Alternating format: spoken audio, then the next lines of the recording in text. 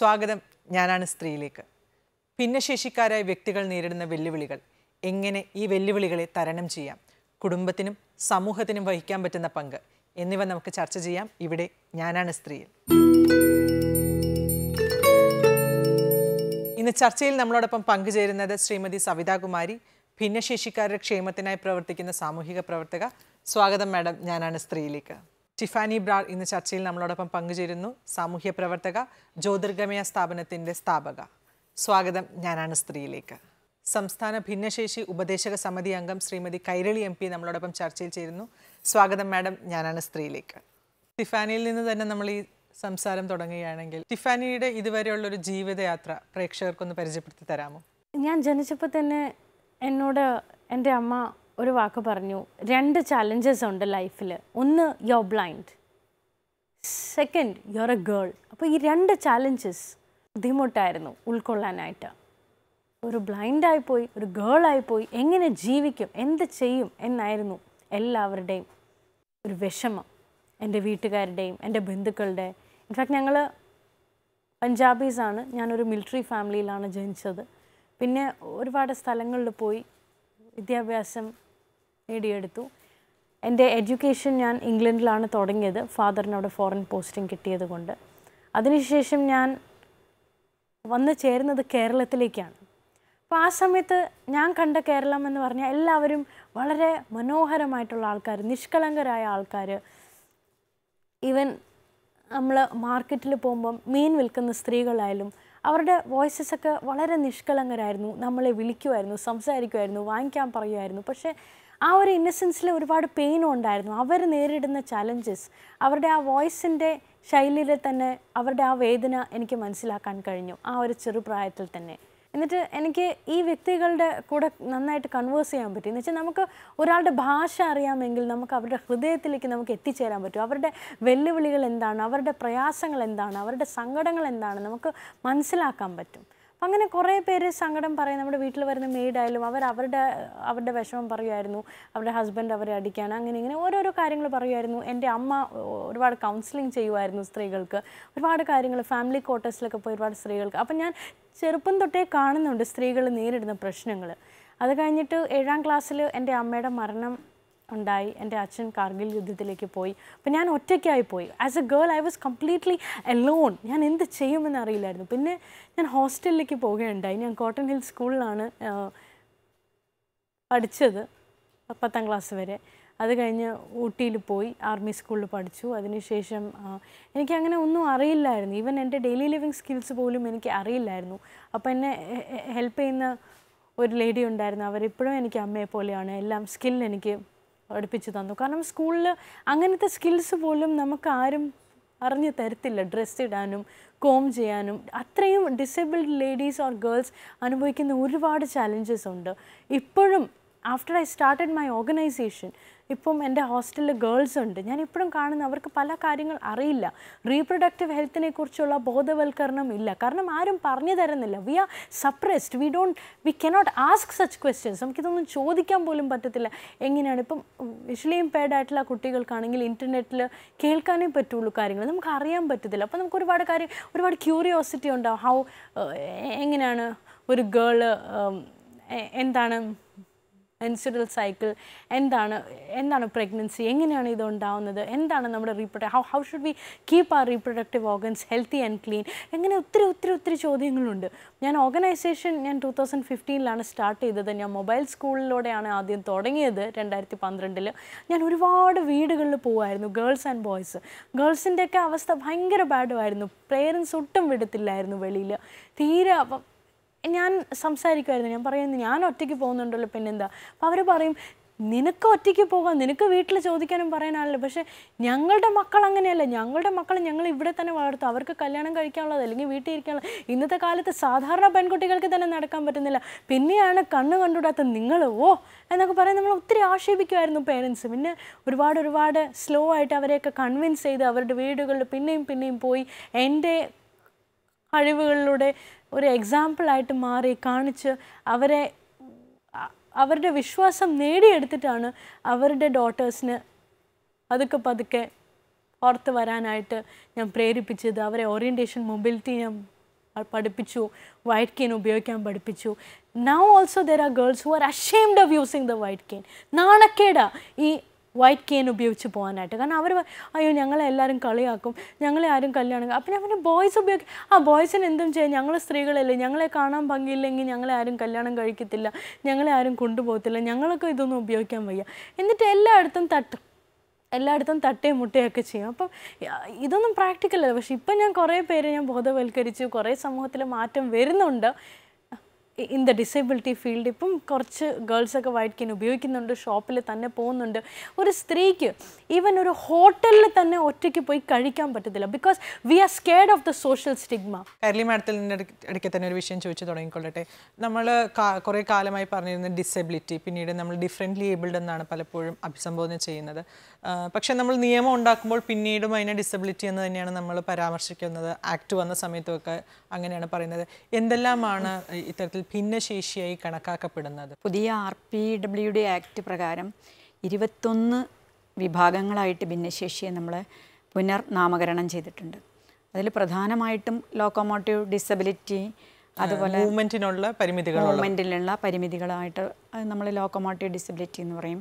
അതുപോലെ തന്നെ കാഴ്ച പരിമിതികൾ ശരിക്കും നമ്മൾ ബ്ലൈൻഡ് എന്ന് പറയുന്നത് പാടില്ല ഇപ്പോഴത്തെ നിയമപ്രകാരം. അപ്പം നമ്മൾ കാഴ്ച പരിമിതി തന്നെയാണ് അതിന് ആപ്റ്റ് വാക്കായിട്ട് ഉപയോഗിക്കുന്നത്. അതിൽ ലോ വിഷൻ ഉണ്ട്. പൂർണമായിട്ടും കാഴ്ച പരിമിതി ഉള്ളവരുണ്ട്. അതുപോലെ തന്നെ നമ്മൾ ഡഫായിട്ടുള്ള ആളുകളുണ്ട്. അത് നമ്മൾ കേൾവി പരിമിതി തന്നെ നമ്മൾ പറയണം. ഡഫ് എന്നുള്ളത് നമ്മളങ്ങനെ ഉപയോഗിക്കില്ല ഡഫ്നെസ് അപ്പോൾ ആ രീതിയിലുണ്ട്. ബുദ്ധി പരിമിതി ഉള്ളവരാണ്. അതിൽ തന്നെ ഓട്ടിസം ഉണ്ട്. മെന്റൽ റിട്ടാർഡേഷൻ എന്ന് ഇതുവരെ പറഞ്ഞിരുന്നത് നമ്മൾ ഇന്റലക്ച്വൽ ഡിസബിലിറ്റി എന്നുള്ള പദം ഉപയോഗിക്കാൻ പാടുള്ളൂ എന്നുള്ളതുണ്ട്. ഇന്റലക്ച്വൽ ഡിസബിലിറ്റി അതിലാണ് വരുന്നത്.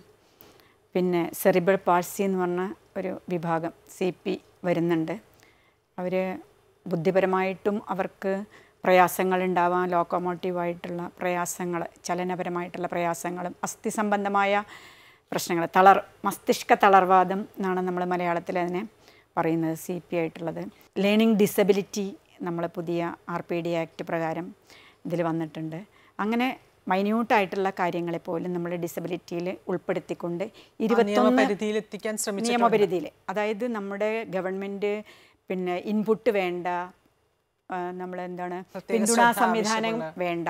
കൈപിടിച്ചുയർത്തേണ്ട വിഭാഗങ്ങളെ മൊത്തം നമ്മൾ ആക്ടിന്റെ പരിധിയിൽ കൊണ്ടുവരാനും അവർക്കെല്ലാം ഗവൺമെന്റിന്റെ സേവനങ്ങൾ എത്തിക്കുന്നതിന് വേണ്ടിയിട്ടാണ് ഇങ്ങനെ കൂടുതൽ ആളുകളെ അതിൽ നമ്മൾ കൊണ്ടുവന്നിട്ടുള്ളത്. അങ്ങനെ ഇരുപത്തൊന്ന് ഇനം ഡിസബിലിറ്റിയാണ് നമ്മുടെ പുതിയ ആർ പി ഡി ആക്ട് പ്രകാരം വന്നിട്ടുള്ളത്. അപ്പം മാഡം ഇരുപത്തൊന്നോളം ഏരിയ പറയുകയുണ്ടായി.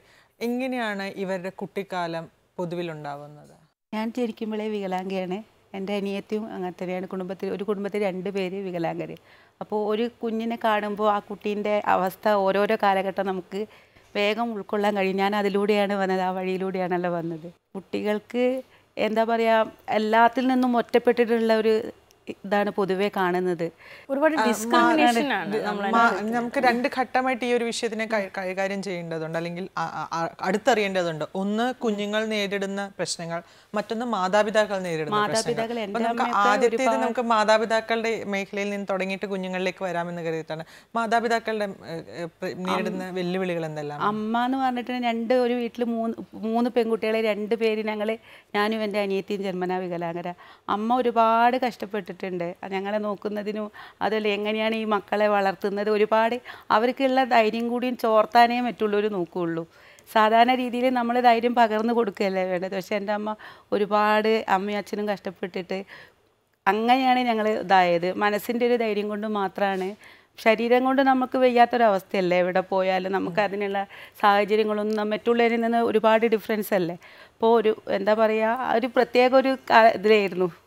ചുറ്റുപാടിന്റെ സപ്പോർട്ട് വളരെയധികം ആവശ്യമുണ്ട്. പക്ഷെ പലപ്പോഴും അത് കിട്ടാതെ പോകുന്നു എന്നുള്ളതല്ലേ? എന്താണ് മാതാപിതാക്കളുടെ മുന്നോട്ടുള്ള ജീവിതത്തിൽ അവർ അവരുടെ ജീവിതത്തിൽ വരുന്ന മാറ്റങ്ങൾ എന്തെല്ലാമാണ്? എനിക്കിതിലുള്ള ഭിന്നശേഷിയായിട്ടുള്ള എക്സ്പീരിയൻസ് പറഞ്ഞാൽ ഞാൻ ഇരുപത് വയസ്സിലാണ് എന്റെ മോൻ എന്നെ പ്രസവിക്കുന്നത്. അപ്പോൾ എം ആർ ആയ കുട്ടിയായിരുന്നു. ഡെലിവറി കഴിഞ്ഞ് പത്തൊമ്പതാമത് ദിവസം ഒരു കരച്ചിൽ ഉണ്ടായി. നമുക്ക് കൺട്രോൾ ചെയ്യാൻ പറ്റാതെ. അപ്പോഴാണ് നമ്മൾ പീഡിയാട്രിഷ്യന്റെ അടുത്ത് കൊണ്ടുപോയി രാത്രി പന്ത്രണ്ട് മണിക്കാണ് വീട്ടിൽ നിന്ന് ജീപ്പൊക്കെ എടുത്ത് റൂറൽ ഏരിയ കൊണ്ടുപോയി പീഡിയാട്രിഷ്യന്റെ അടുത്ത് കാണിക്കണം. അപ്പോൾ പീഡിയാട്രിഷ്യന്റെ ടേബിളിൽ കുട്ടിയെ കടത്തി നോക്കുമ്പോൾ കരയുന്നതല്ല ഡോക്ടർ ശ്രദ്ധിച്ചത്. തല അങ്ങനെ പിടിച്ചു നോക്കിയിട്ട് അതിന്റെ സർക്കംഫറൻസ് നോക്കിയിട്ടായിരിക്കും പറഞ്ഞു ഈ കുട്ടി എം ആർ ആണ് മെന്റലി റിട്ടാർഡാണ് എനിക്കിപ്പോഴും ആ യാത്ര മറക്കാൻ കഴിയില്ല. എന്റെ അച്ഛൻ എന്റെ രണ്ട് പിന്നെ സഹോദരങ്ങളും എന്റെ കൂടെ ഉണ്ടായിരുന്നു. ഞാനും പിന്നെ വീട്ടിലടുത്തുള്ളൊരു സ്ത്രീയും കൂടെയാണ് പോയിരുന്നത്. അപ്പോൾ ഇവരോടാണ് ഡോക്ടർ പറഞ്ഞത്. അതിന്റെ സീരിയസ്നെസ് അവർക്കല്ലേ അറിയുള്ളൂ. അപ്പോൾ എന്റെ അച്ഛൻ വീട്ടിൽ വന്നിട്ട് അതുവരെ എനിക്ക് എന്താ പറഞ്ഞ് അതിന്റെ ഗൗരവം അറിയില്ല. ശരിക്കും എന്തോ കുട്ടിക്ക് കുഴപ്പമുണ്ടെന്ന് അറിയാം എന്നല്ലാതെ പക്ഷേ വീട്ടിലെത്തുന്നവരാരും സംസാരിച്ചില്ല. വീട്ടിലെത്തിയതും അച്ഛൻ എന്നെ കെട്ടിപ്പിടിച്ച് കരഞ്ഞു. എന്റെ മോളുടെ ജീവിതം നഷ്ടപ്പെട്ടു. അപ്പോഴും എനിക്ക് തീവ്രത അറിയില്ലായിരുന്നു. ചിലപ്പോൾ എന്റെ അത്ര ഏജ് ആയിട്ടില്ല. മറ്റ് കാര്യങ്ങളൊന്നും അത്ര അതിന്റെ ഗൗരവം മനസ്സിലാക്കാൻ കഴിയാത്തതുകൊണ്ടോ എന്തോ അങ്ങനെയായിരുന്നു. പക്ഷെ അതോടുകൂടി എനിക്ക് തോന്നുക എന്നേക്കാളും കൂടുതൽ തളർന്നത് എന്റെ അച്ഛനും അമ്മയും സഹോദരങ്ങളും ഒക്കെയാണെന്നുള്ള പിന്നീട് എന്താ വെച്ചാൽ ആ കുഞ്ഞിനെ വളർത്തുന്നതിലുള്ള ഒരു പ്രയാസമാണ്. ബ്രസ്റ്റ് ഫീഡിങ് ശരിക്കില്ല. പാൽ ഗ്ലാസ്സിലേക്ക് എടുത്ത് സ്പൂൺ വഴി കൊടുക്കണം. എന്നിട്ട് അത് കുടിക്കില്ല. കുട്ടി നന്നായി കരയും. കുട്ടിയെ എങ്ങനെ സമാധാനിപ്പിക്കണം നമുക്കറിയില്ല. രാത്രി ഉറങ്ങുമ്പോൾ ഉണർന്നു കഴിഞ്ഞാൽ കരയും. അപ്പം നമ്മൾ കുട്ടി ഉണരാതിരിക്കാൻ പ്രാർത്ഥിച്ചുകൊണ്ട് ആ ഒരു ഭയം നമ്മൾ അനുഭവിക്കുന്ന ഒരു ടോർച്ചറിങ് കുഞ്ഞ് എന്ത് ശബ്ദം കേട്ടു എങ്ങനെങ്കിലും ഉണർന്നാൽ പിന്നെ കരച്ചിൽ നിർത്തില്ല. വിശന്നിട്ടാവാം. പ്രശ്നം നമുക്ക് അറിയൂല ഒരു നോർമൽ കുട്ടിയുടെ ഇഷ്യൂസ് സാധാരണ എല്ലാവർക്കും ഏജ്ഡ് ആയിട്ടുള്ള പാരൻസിനൊക്കെ അറിയാം. അവർ പറഞ്ഞു തരും. പക്ഷേ ഇത്തരം കുട്ടി എന്തിനു കരയണു? ഒന്നും നമുക്ക് മനസ്സിലാവില്ല. കുട്ടി പാലാണെങ്കിൽ നന്നായി കഴിക്കില്ല. ചിലപ്പോൾ വിശന്നിട്ടാവാം. അപ്പോൾ അങ്ങനെ രാത്രി കാലങ്ങളിലെല്ലാം ഈ കുഞ്ഞിനെ എടുത്തുകൊണ്ട് നടക്കുകയാണ് നമ്മൾ അത്തരത്തിൽ നമുക്ക് പറയാൻ പറ്റാത്ത ജീവിതാനുഭവങ്ങളാണ്. പ്രത്യേകിച്ചും ഇന്റലക്ച്വൽ ഡിസബിലിറ്റി ഉള്ള ഒരു കുട്ടീനെ പ്രസ അമ്മ എന്നുള്ള രീതിയിൽ എനിക്ക് പറയാനുള്ളത്. അതുപോലെ തന്നെ വീട്ടിൽ മറ്റുള്ളവരൊക്കെയും വളരെ ഡിപ്രസ്ഡ് ആവുകയാണ്. ഇങ്ങനെ കുടുംബത്തിൽ വന്ന് ഭവിച്ചുവല്ലോ എല്ലാവരും സഹതാപപൂർവം കുഞ്ഞിനെ കാണാൻ വരുന്നവരൊക്കെ സഹതാപത്തോടെ നോക്കി പോവുകയാണ്. ചിലപ്പോൾ നമുക്ക് വന്ന ഈ ഫെയ്ത്തിനേക്കാളും നമ്മൾ സങ്കടപ്പെടുന്നത് മറ്റുള്ളവരുടെ സഹതാപം കാണുമ്പോഴാണെന്ന് എനിക്ക് തോന്നിയിട്ടുണ്ട്. അങ്ങനെ നമുക്ക് ഫീൽ ചെയ്യും. അതുപോലെ നമ്മളുടെ എന്തോ എന്താണ് കർമ്മദോഷമാണ് ഇങ്ങനത്തെ ഒരു കുട്ടി ഉണ്ടാവുന്നത് എന്നുള്ളൊരു പഴി. അല്ലെങ്കിൽ നമ്മളുടെ എന്തോ എന്താണ് മുജന്മ പാപം കൊണ്ടാണ് ഇങ്ങനെ ഉണ്ടാവുന്നത്. അങ്ങനെയൊക്കെ പറയും. അത്തരത്തിലുള്ള ഈ സൊസൈറ്റിയുടെ ഒരു ഈ ഭിന്നശേഷി വരുന്നതിനോടുള്ള ഒരു കാഴ്ചപ്പാട്. സമീപനം. സമീപനം. അത് നമ്മളെ വല്ലാതെ ഈ ഒരു മേഖല നമുക്ക് കൂടുതൽ സംസാരിക്കേണ്ടതായിട്ടുള്ളതായിട്ട് തോന്നുന്നു. അതിന് മുമ്പ് ടിഫാനിയിലേക്കും കൂടി ഇതേ വിഷയം ഒന്ന് ഞാൻ ചോദിച്ചോളട്ടെ മാതാപിതാക്കൾക്ക് വഹിക്കാൻ പറ്റുന്ന പങ്ക് എത്രത്തോളം വലുതാണ് ഈ ഒരു കാലയളവിൽ? എന്റെ മാതാപിതാക്കൾ ഒരുവിധം ഇപ്പോൾ എന്റെ ഫാദർ മിലിറ്ററിയിലായതുകൊണ്ട് ഫാദറുടെ ഭാഗത്ത് അങ്ങനെ വലിയ കോൺട്രിബ്യൂഷൻ ഒന്നും ഇല്ലായിരുന്നു. കാരണം ഫാദർ ഡെയിലി ഓഫീസിൽ പോവാ വരിക അങ്ങനെ ഒരു പക്ഷേ എന്റെ അമ്മയ്ക്ക് അത് ഭയങ്കര പ്രയാസമായിരുന്നു. അമ്മ ഉള്ളിന്റെ ഉള്ളിൽ ഒരുപാട് കരയുകയുണ്ടായി. പിന്നെ എന്റെ അമ്മ ഡിപ്രഷനിലോട്ടായി. അങ്ങനെ ഡിപ്രഷനിൽ പോയപ്പോഴത്തേക്കും എന്റെ മദറിന് അസുഖം വന്നു അങ്ങനെ അസുഖം വന്നു അങ്ങനെ മരിച്ചതാണ് അവർ കാരണം അത്രയും അവർ ഡിപ്രസ്ഡ് ആയിരുന്നു. അച്ഛനും എപ്പോഴും കൂടെ ഇല്ല ഫീൽഡ് ഏരിയയിലാണ് അമ്മയ്ക്ക് സ്വന്തമായിട്ട് ഈ ചലഞ്ചസ് മോസ്റ്റ്ലി ആൾക്കാർ ചോദിക്കുന്ന ക്വസ്റ്റ്യൻസ് ആൾക്കാർ കാണിക്കുന്ന സിമ്പത്തീസ് ആയിരുന്നു എന്റെ അമ്മ ഏറ്റവും കൂടുതൽ ഡിപ്രസ്ഡ് ആക്കിയത്. പക്ഷേ എന്നെ എല്ലാ സ്ഥലത്തും കൊണ്ടുപോകുമായിരുന്നു പൂക്കൾ കാണിക്കുമായിരുന്നു ഗാർഡന് കാണിക്കുമായിരുന്നു എല്ലാ വ്യക്തികളുമായിട്ട് ഇന്ററാക്ട് ചെയ്യാനുള്ള അവസരം തരികയായിരുന്നു. കാരണം അവരൊരിക്കലും എന്നെ ഒന്നിൽ നിന്ന് മാറ്റി നിർത്തിയില്ല. ആ നന്ദി എനിക്ക് ഇപ്പോഴും എന്റെ അമ്മയോടുണ്ട്. അതുകൊണ്ടാണ് ഞാൻ ഇന്ന് എനിക്ക് നിങ്ങളുടെ മുമ്പിൽ ഇങ്ങനെ സക്സസ്ഫുൾ ആയിട്ട് ഇന്ന് സംസാരിക്കാൻ പറ്റുന്നത്. പക്ഷെ ഒത്തിരി കുട്ടികളുണ്ട്. നമ്മൾ സ്കൂളിലൊക്കെ പോകുമ്പോൾ ഒത്തിരി ഒത്തിരി മാതാപിതാക്കളാണെങ്കിൽ അവരുടെ കുട്ടികളെ ലൈക്ക് ഒരു മാരേജിനൊന്നും കൊണ്ടുപോകാറില്ല. വീട്ടിനകത്ത് പൂട്ടിയിടും. എന്റെ ഒരു സ്റ്റുഡന്റ് ഉണ്ട്. അവരുടെ അമ്മ ഒരു ക്ലീനിങ് ജോലിക്ക് പോകുന്നൊരു സ്ത്രീയാണ്. അവരുടെ അവരെ മോളെ അങ്ങ് വീട്ടിൽ പൂട്ടിയിട്ടിട്ട് പോകും ആ കുട്ടിക്ക് ഒന്നും അറിയില്ല. ഇവൻ സ്വന്തമായിട്ട് അല്ല വസ്ത്രം ധരിക്കാൻ ഒന്നും അറിയില്ല ആ കുട്ടിക്ക്. ആ കുട്ടിക്ക് ഏകദേശം ഒരു യങ് ഏജ് തന്നെയാണ്. I think she's in her twenties പക്ഷെ അവർക്ക് ഒന്നും അറിയില്ല. കാരണം അവരുടെ അമ്മ പോവും വരും. പക്ഷെ ഭയങ്കര വാത്സല്യവും സ്നേഹമൊക്കെ തന്നെ. പക്ഷേ ഇങ്ങനെ ഭയങ്കര ഓവർ പ്രൊട്ടക്ഷനും ഭയങ്കര ഒരു ഭയങ്കര ഡിസ്ക്രിമിനേഷനൊക്കെയാണ് ഇപ്പം. നമ്മൾ സ്കൂളിൽ പോകുമ്പോൾ നമുക്ക് എല്ലാ തരത്തിലുള്ള ആ പേരൻസ് നമ്മളെ ഓവർ പ്രൊട്ടക്റ്റ് ചെയ്യുക രണ്ട് തരം സ്നേഹമാണ് ഒന്ന് എക്സ്ട്രീം ഓവർ പ്രൊട്ടക്ഷൻ അങ്ങ് ഓവർ പ്രൊട്ടക്ട് ചെയ്ത് കെയർ ചെയ്ത് അങ്ങ് നമ്മളെ കൊല്ലുവാണ് അവർ ശരിക്കും ചെയ്യുന്നത്. പക്ഷേ മറ്റൊരു തരത്തിലാണെങ്കിൽ എക്സ്ട്രീം നെഗ്ലിജൻസ് അല്ലെങ്കിൽ ഇഗ്നോറൻസ് ഉണ്ട്. അപ്പോൾ ഈ ഒരു ആറ്റിറ്റ്യൂഡ് സ്വീകരിക്കാതെ പേരൻസ് സ്വീകരിക്കേണ്ടത് ഒരു ന്യൂട്രൽ ആറ്റിറ്റ്യൂഡാണ് വാത്സല്യം കൊടുക്കുക വാത്സല്യം കൊടുക്കുക സ്നേഹിക്കുക. അറ്റ് ദ സെയിം ടൈം അവരെ സ്വയം പ്രാപ്തരാകുക. അവ അവരെ അവരെ കാര്യങ്ങൾ ചെയ്യാൻ പ്രാപ്തരാക്കുക. പ്രാപ്തരാക്കുക. അതാണ് എനിക്ക് പേരൻസിനോട് പറയാനുള്ളത്. പിന്നെ മറ്റവരെന്ത് പറയുന്നു? അത് കാര്യമാക്കാതെ നിങ്ങളുടെ കുട്ടി നിങ്ങൾക്ക് ഏറ്റവും വലിയ ഗിഫ്റ്റാണ് അത് ഗേൾ ആണെങ്കിൽ പോലും അതിനാര് കല്യാണം കഴിക്കുക അതിന് വൈകല്യം വന്നാൽ അതിനിങ്ങനെ സ്ത്രീധനം കൊടുക്കുക ഇതൊന്നും നിങ്ങൾ ചിന്തിക്കേണ്ട. ദൈവം എല്ലാം കൊണ്ട് തരും. നിങ്ങൾ ആ കുട്ടിയെ നല്ല രീതിയിൽ വളർത്തി കൊണ്ടുപോകാം മറ്റൊരാളുടെ തലയിൽ ഭാരം ആകാതെ രീതിയിൽ നിങ്ങൾ നന്നായിട്ട് വളർത്തുക. ബാക്കിയെല്ലാം തന്നെത്താൻ വരും. എങ്ങനെയാണ് ഇത് അവർക്ക് മറികടക്കാൻ സാധിക്കുന്നത്? ഏറ്റവും എനിക്ക് അതിൽ ഫസ്റ്റ് ഇമ്പോർട്ടന്റ് ആയിട്ട് ഞാൻ കാണുന്നത് എന്താ വെച്ചാൽ പാരൻസിന്റെ കൂട്ടായ്മ ആണെന്നുള്ളതാണ് കാരണം ഒറ്റയ്ക്ക് ഒറ്റയ്ക്ക് ഓരോ പ്രശ്നങ്ങൾ നേരിടുന്നതിലപ്പുറത്തേക്ക് നമ്മൾ പാരൻസിന്റെ എല്ലാവരും ഇപ്പം അമ്മമാരുടെ ഒരു കൂട്ടായ്മ രൂപപ്പെടുത്തുകയാണെങ്കിൽ അവരുടെ സങ്കടങ്ങൾ പറയാൻ ഒരു കുട്ടിയുടെ ഇഷ്യൂ ഓരോ കുട്ടികളുടെയും ഇഷ്യൂസ് വേറെ വേറെ ഇഷ്യൂസ് ആയിരിക്കും. ആ ഇഷ്യൂസ് പരസ്പരം സംസാരിക്കാനും ഓരോ അമ്മയും അത് നേരിടാൻ എടുക്കുന്ന ഒരു മെത്തേഡുണ്ട് രീതികളുണ്ട്. രീതികൾ. അപ്പോൾ ആ രീതി മറ്റൊരു അമ്മയ്ക്ക് ആ കുഞ്ഞിനെ സ്കില്ല് എടുക്കുന്നതിൽ പരിശീലനം ചെയ്യിപ്പിക്കുന്നതിൽ ഉപകരിക്കും ഉപകാരപ്രദമാവും. ഇത് പത്ത് പൈസ ചിലവില്ലാതെ നമുക്ക് കിട്ടുന്ന ഒരു സൊസൈറ്റി മൂവ്മെന്റിന്റെ ഭാഗമായിട്ട് ഉണ്ടാക്കാവുന്നതാണ് ഞാൻ എപ്പോഴും എന്റെ ഒരു കോൺസെപ്റ്റിൽ ആലോചിക്കാറുണ്ട്. നമ്മുടെ കുടുംബശ്രീ സംവിധാനം പോലെ തന്നെ ഭിന്നശേഷിക്കാരുടെ ഒരു അയൽക്കൂട്ട സംവിധാനങ്ങൾ സംസ്ഥാനം മൊത്തം രൂപപ്പെടുകയാണെങ്കിൽ അവരുടെ വലിയൊരു എംപവർമെന്റ് വരും. അവർ ഈ സമൂഹത്തിൽ നിന്നും ഒറ്റപ്പെട്ട് പാർശ്വവൽക്കരിക്കപ്പെടുന്ന ഒരു സംഭവം ഉണ്ടവർ ഈ പറയുന്ന സോഷ്യൽ സ്റ്റിഗ്മണ്ട് മറ്റുള്ള നമ്മുടെ കല്യാണം മറ്റുള്ള ഫംഗ്ഷൻ മറ്റുള്ള പൊതുവെ പൊതു ഇടങ്ങളിലേക്കൊന്നും ഈ ആളുകൾ പ്രവേശിപ്പിക്കാത്ത. ഇപ്പം ഇവർ ഞാൻ ആക്ച്വലി ഞാൻ ഭിന്നശേഷിക്കാരി അല്ലെങ്കിലും എന്റെ മോന്റെ ഭിന്നശേഷി ആയിട്ട് ബന്ധപ്പെട്ട് പോലും എനിക്ക് അനുഭവങ്ങളുണ്ട്.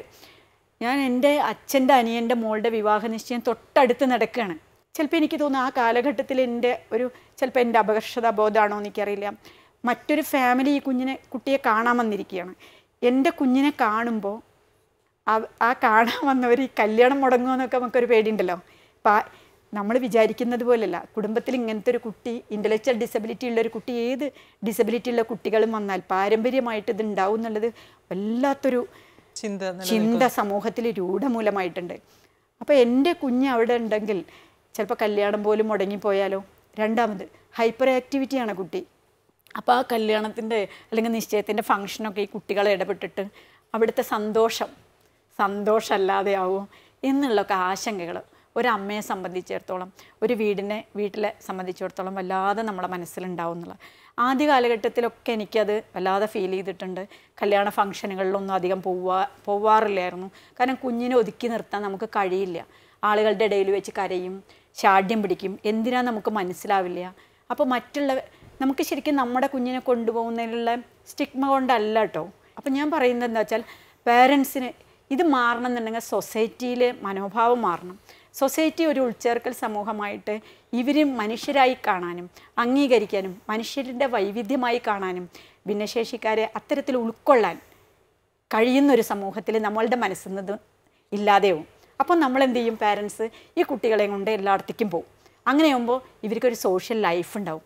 ആ സോഷ്യൽ ലൈഫ് രൂപപ്പെടുന്നത് തന്നെ ഇവരുടെ എല്ലാ രീതിയിലുള്ള വെല്ലുവിളികളെയും നേരിടാൻ ഈ കുടുംബത്തിനും സമൂഹത്തിനും ഈ കുട്ടിക്കും കഴിയും എന്നുള്ളതാണ്. ഇവിടെ മാഡം പറഞ്ഞതുപോലെ മറ്റ് ഒരു കുടുംബത്തിന്റെ സന്തോഷം നമ്മൾ കാരണം അല്ലെങ്കിൽ നമ്മുടെ കുട്ടികൾ കാരണം എങ്ങനെ നഷ്ടപ്പെട്ടു പോരുത് okay that is one approach അതൊരു പാസീവ് ആയിട്ടുള്ള ഒരു അപ്രോച്ചാണ് നമുക്ക് എങ്ങനെ ചെയ്യാം മറ്റവർക്ക് വേണ്ടി നമുക്ക് നമ്മുടെ പക്ഷേ unless you start taking your child there ആ ചൈൽഡും ബിഹേവ് ചെയ്യാൻ പഠിക്കും അതിനും മനസ്സിലാവും. സൊസൈറ്റി എന്താണ്? എങ്ങനെയാണ് പെരുമാറേണ്ടത്? അതിന് ചെറിയ രീതിയിൽ മനസ്സിലാവും. കൊണ്ടുപോയി കൊണ്ടുപോയി ശീലിക്കുമ്പോൾ അതുമാത്രമല്ല സൊസൈറ്റിക്കും കൂടെ മനസ്സിലാവുന്ന ഇപ്പം നമ്മുടെ കുടുംബ അംഗങ്ങളാണെങ്കിൽ ഈ കുഞ്ഞും ആ കുടുംബത്തിന്റെ ഒരു ഭാഗമാണ്. ആ ഒരു കല്യാണത്തിന് ഹി മസ്റ്റ് ഗോ ഇപ്പം ഞാൻ എനിക്ക് അങ്ങനെ ഒരുപാട് ഫാമിലി ബോണ്ടേജസ് ഇല്ലായിരുന്നു. കാരണം ഞങ്ങൾ എന്റെ പേരൻസ് ആർമിയിലായിരുന്നു ഞങ്ങൾ പഞ്ചാബ് വിട്ട് അങ്ങനെ പോയി. അതുകൊണ്ട് പക്ഷേ ഞാൻ എന്റെ സ്റ്റുഡൻസിനോട് എപ്പോഴും പറയാറുണ്ട് നിങ്ങളുടെ പേരൻസിന്റെ ഒപ്പം പോവുക. നിങ്ങൾ ആ കുടുംബത്തിന്റെ ആ ഒരു ഗ്യാതറിങ് എൻജോയ് ചെയ്യുക. കാരണം നിങ്ങൾ പോയില്ലെങ്കിൽ നിങ്ങളെ എല്ലാവരും ഒതുക്കി നിർത്തത്തേ ഉള്ളൂ. പക്ഷേ പോയി പോയി ഒരു പ്രാവശ്യം പോയാൽ കരയുമായിരിക്കാം. ഇപ്പോൾ ബ്ലൈൻഡ് ആണെങ്കിൽ പോലും ഒരു പ്രാവശ്യം എ- എങ്ങോട്ടും അങ്ങോട്ടോ തട്ടുമായിരിക്കാം. മെന്റലി ചാലഞ്ച് ആണെങ്കിൽ ഒന്നോ രണ്ടോ പ്രാവശ്യം ഒ- ഈ കറി അല്ലെങ്കിൽ എന്തെങ്കിലും പ്രശ്നം ഉണ്ടാക്കി. പക്ഷേ രണ്ടാമത്തെ പ്രാവശ്യം പിന്നെ പക്ഷേ മൂന്നാമത്തെ പ്രാവശ്യം he has to be accepted he he has a right to live in the world അതിനെ കൊല്ലാനൊന്നും പറ്റത്തില്ല. അത് മെന്റലി ചാലഞ്ച് എന്ന് പറഞ്ഞിട്ട്. അതിന് എത്ര നാളെന്ന് വെച്ചാൽ നിങ്ങൾ ഒതുക്കി നിർത്തും. അതിന് വേണ്ട രീതിയിൽ കുറച്ച് ഈ ഇന്റർവെൻഷൻ സ്കിൽസും കുറച്ച് കാര്യങ്ങളൊക്കെ കൊടുത്തു കഴിഞ്ഞാൽ ക്രമേണ ശരിയാവും. പിന്നെ സൊസൈറ്റി ഹാസ് ടു ചേഞ്ച് നിങ്ങളുടെ ആ കുഞ്ഞിനെ കാണുമ്പം ഒരു പ്രാവശ്യം എല്ലാവരും സഹതാപത്തോടെ നോക്കും. അയ്യോ കഷ്ടമായി പോയല്ലോ മാനസിക വൈകല്യമുള്ള ഒരു കുട്ടിയായല്ലോ അത് ഇതെന്ന് പറയുമായിരിക്കും. രണ്ട് മാത്രം പ്രാവശ്യം പറയുമായിരിക്കും. പക്ഷേ പിന്നെയും പിന്നെയും നിങ്ങൾ ആ കുട്ടിയെ ഓരോ സ്ഥലത്ത് കൊണ്ടുപോയിക്കൊണ്ടിരിക്കും. The society will also know how to accept and know how to behave with such a person സവിതയിലേക്ക് ഇത് ചോദ്യങ്ങൾ കൊണ്ടുവരികയാണെങ്കിൽ എങ്ങനെയാണ് മാതാപിതാക്കൾക്ക് പ്രത്യേകിച്ച് അമ്മമാർക്ക് ക്രിയ ക്രിയാത്മകമായി ഈ ഒരു വളർച്ചയുടെ കാലഘട്ടങ്ങളിൽ ഇടപെടാൻ സാധിക്കുന്നത്? എല്ലാ എല്ലാ ഇങ്ങനെ ഭിന്നശേഷിയായിട്ട് ഇതാവുന്ന അനുഭവിക്കുന്ന അമ്മമാരും കുട്ടികളൊക്കെ ഒന്നിച്ചിങ്ങാണ്ട് ഒരു ഈ കുടുംബശ്രീ പോലെയുള്ള അങ്ങനെയൊക്കെ ചെയ്യുമ്പോൾ കുറച്ചും കൂടി അവർക്ക് നമ്മൾ നമ്മൾ മാത്രമല്ല ഇങ്ങനെ ഒറ്റപ്പെട്ടതല്ല. നമ്മളെ പോലെ ഇതിനെക്കാട്ടും കഷ്ടപ്പെടുന്നവർ അടിത്തളങ്ങളിലുണ്ട്. അപ്പം നമ്മളെയും കാട്ടിയും താന്നിട്ടുള്ളത് ചിന്തിച്ച് കഴിഞ്ഞിട്ടുണ്ടെങ്കിൽ നമ്മളൊന്നും അല്ല എന്നുള്ളത് ഞാൻ അങ്ങനെയാണ് കരുതൽ കാരണം എന്താ വെച്ചാൽ എന്നെയും കാട്ടി എനിക്കിപ്പോൾ പുറത്തിറങ്ങി സംസാരിക്കുക വണ്ടിയിൽ പോയിങ്ങാണ്ട് ഓഫീസ് എല്ലാ കാര്യങ്ങളൊക്കെ ചെയ്യാം. പുറത്തുനിന്ന് വീട്ടിൽ നിന്ന് പുറത്തിറങ്ങാൻ സാധിക്കാതെ ഇപ്പം തന്നെയാണ് ഞങ്ങളുടെ നാട്ടിലുണ്ട് ഒരു മറിയ എന്ന് പറഞ്ഞിട്ട് ഒരു അമ്മ. ആ അമ്മേനെ നമ്മൾക്ക് പറയാം ആർ പി ടി ഇത് ആക്ടിൽ പറയുന്നുണ്ട് സംവരണം എന്ന്. പറയുന്നുണ്ട്. പക്ഷേ അതിൽ അവർക്ക് വീൽ ചെയറോ അല്ലെങ്കിൽ സ്റ്റിക്കോ ഒന്നും കൊടുക്കുന്നതല്ല. അവിടെ ഒരു വലിയൊരു കുന്നിന്റെ മേലെ ഒരു അമ്മ ഒരു അമ്മ ഒരു സഹോദരൻ അവർ രണ്ടുപേരും ഹാൻഡിക്കാർഡ് ഇരുപത് വർഷമായി കിടക്കുന്നു. ഇപ്പോൾ അടുത്ത ഞാൻ പരിചയപ്പെട്ടത്. അവരെന്ന് പറഞ്ഞിട്ടുണ്ടെങ്കിൽ കഷ്ടപ്പെട്ട് ഞാൻ അവിടെ എത്തിക്കഴിഞ്ഞ് അവർക്ക് എന്ത് സാമൂഹിക പ്രതിബദ്ധതയാണ് ഇപ്പോൾ നമ്മൾ കൊടുക്കുന്നത്? അവർ ഒന്ന് അവർക്കൊരു മെഡിക്കൽ ബോർഡിന്റെ സർട്ടിഫിക്കറ്റ് വരെ ഇതുവരെ കിട്ടിയിട്ടില്ല. വികലാംഗർക്ക് വേണ്ടിയിട്ട് ഭിന്നശേഷിക്കാർ അനുഭവിക്കുന്ന ഒരുപാട് കാര്യങ്ങൾ അനുഭവിക്കുന്നുണ്ട്. അവർക്ക് എന്താ പറയുക സമയത്തിൽ ആ ഒരു കൃത്യമായ സമയത്തിൽ വേണ്ടുന്ന ആനുകൂല്യങ്ങളൊന്നും ലഭിക്കുന്നില്ല. കിട്ടേണ്ട കാര്യങ്ങൾ കിട്ടാതെ എത്ര ഇരുപത് വർഷമായി അവർ ഒരു ഇതിന് വേണ്ടിയിട്ട് നടക്കുന്നു ഒരു മെഡിക്കൽ ബോർഡിന്റെ സർട്ടിഫിക്കറ്റിന് നടക്കുന്നു. ഒരു അമ്മേന്റെ അവസ്ഥ നോക്കൂ സഹോദരനും അങ്ങനെ തന്നെയാണ്. അപ്പോൾ ഇനിയും ഒരുപാട് മാറാനുണ്ട്. അപ്പോൾ നമ്മളെപ്പോലെയുള്ളവരെ മുന്നോട്ട് കൊണ്ടുവരുന്നതിന് പഞ്ചായത്ത് മുതൽ പാർലമെന്റ് വരെ സംവരണം അങ്ങനെയാകുമ്പോൾ നമ്മളിൽ നിന്ന് തന്നെ നമ്മൾ തിരഞ്ഞെടുക്കപ്പെട്ട് നമ്മളിൽ നിന്ന് തന്നെ ഒരാളാകുമ്പോൾ നമുക്ക് അതിനെ നമ്മളത് അനുഭവിച്ച് വരുമ്പോൾ ഓരോരോ കാലഘട്ടങ്ങളിൽ അത് അവർക്ക് അതിന്റെതായ രീതിയിൽ നല്ല രീതിയിൽ ചെയ്തു കൊടുക്കാൻ പറ്റും എന്ന് എനിക്ക് തോന്നുന്നു.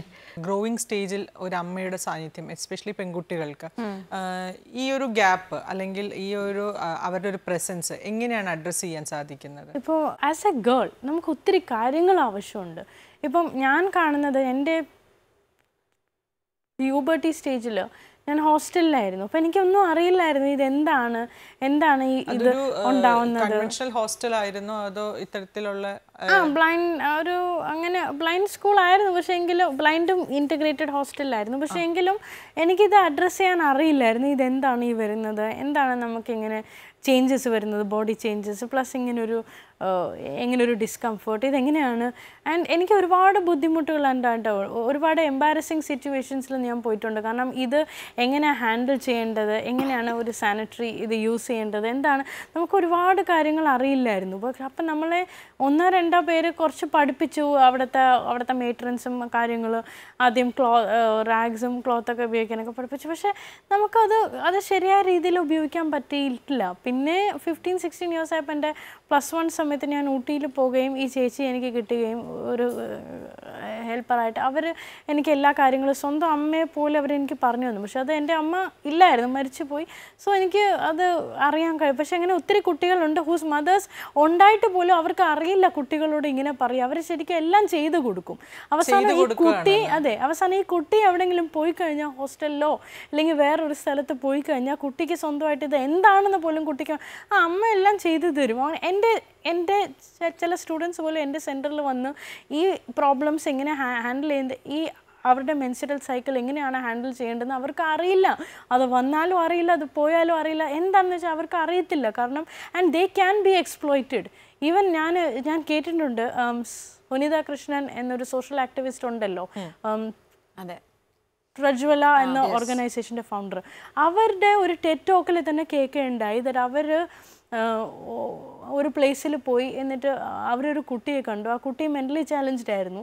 ആ കുട്ടി അവനെ എങ്ങനെ ആൾക്കാർ കൊണ്ടുവന്നു? അവരെങ്ങനെ കിഡ്നാപ്പ് ചെയ്ത് കൊണ്ടുവന്നു? എന്നിട്ട് അവരെങ്ങനെ ഒരു ഇങ്ങനെ ഒരു സ്ഥലത്ത് അവരിട്ടിരുന്നു ആ കുട്ടിയെ? ആ കുട്ടിയുടെ ബ്ലൗസിനകത്ത് ആൾക്കാർ ടെൻ റുപ്പീസിന്റെ നോട്ട് ഇട്ടിട്ട് കുട്ടിയെ എക്സ്പ്ലോയിറ്റ് ചെയ്ത് അവിടെ തന്നെ നിർത്തുമായിരുന്നു. ജസ്റ്റ് ജസ്റ്റ് എക്സ്പ്ലോയിറ്റ് ചെയ്തിട്ട് ഇവിടെ അങ്ങ് ഒരു ടെൻ റുപ്പിയുടെ നോട്ട് ഇട്ടിട്ട് പോകുമായിരുന്നു ഈ ടെൻ റുപ്പീസിന്റെ നോട്ട് കുറേ കൂടി വരുമ്പം ആൾക്കാരത് ഇവിടെ നിന്ന് എടുത്ത് അങ്ങനെ ഇത് ചെയ്യുമായിരുന്നു അപ്പോൾ this child did not know what is happening കാരണം ആ കുട്ടിക്ക് മാനസിക വൈകല്യം ഉണ്ടായിരുന്നു. അത്തരത്തിലുള്ള പത്തറ്റിക് സിറ്റുവേഷനിലോ ഉള്ള പേരൻസും ഉണ്ട്. കുട്ടികളെ തന്നെ വിൽക്കുക അല്ലെങ്കിൽ കുട്ടികളെ മിസ്യൂസ് ചെയ്യുക കുട്ടികളെ എക്സ്പ്ലോയിറ്റേഷനുള്ള മാർഗം കൊടുക്കുക. അങ്ങനെ ഒത്തിരി ഒത്തിരി പേരൻസിനെ ഞാൻ കണ്ടിട്ടുണ്ട്. അവരുടെ പേരൻസ് പോലും അവരെ മിസ്യൂസ് ചെയ്യുന്നു. ഫാദേഴ്സ് ഫാദേഴ്സ് മിസ്യൂസ് ചെയ്യുന്ന കേസുകൾ ഞാൻ കണ്ടിട്ടുണ്ട്. മാഡം നമ്മൾ പല വിധത്തിലുള്ള ചലഞ്ചുകളുണ്ട്. സ്വാഭാവികമായിട്ടും അതിനെ നമ്മൾ ഓരോ തട്ടിൽ നിർത്തി തന്നെ കാണേണ്ടതുണ്ട്. അതിൽ വളരെ വലുതാണ് ഇക്കണോമിക് ചലഞ്ച് എന്ന് പറയുന്നത്. സാമ്പത്തികമായിട്ട് എങ്ങനെയാണ് ഈ മാറ്റത്തിനെ നമുക്ക് കൈകാര്യം ചെയ്യാൻ സാധിക്കുക? അല്ലെങ്കിൽ ഈ മാറിയ ഒരു അവസ്ഥയെ കൈകാര്യം ചെയ്യാൻ സാധിക്കുക എന്നുള്ളത് മരുന്നിന്റെ രൂപത്തിലാണെങ്കിലും മറ്റ് എയ്ഡ്സിന്റെ രൂപത്തിലാണെങ്കിലും മറ്റേ നടക്കാനുള്ളത് അല്ലെങ്കിൽ വീൽ ചെയർ അല്ലെങ്കിൽ മറ്റ് ഗാഡ്ജറ്റ്സ് അത്തരത്തിലുള്ള എക്സ്ട്രാ സപ്പോർട്ടുകൾ ആവശ്യമുണ്ട്.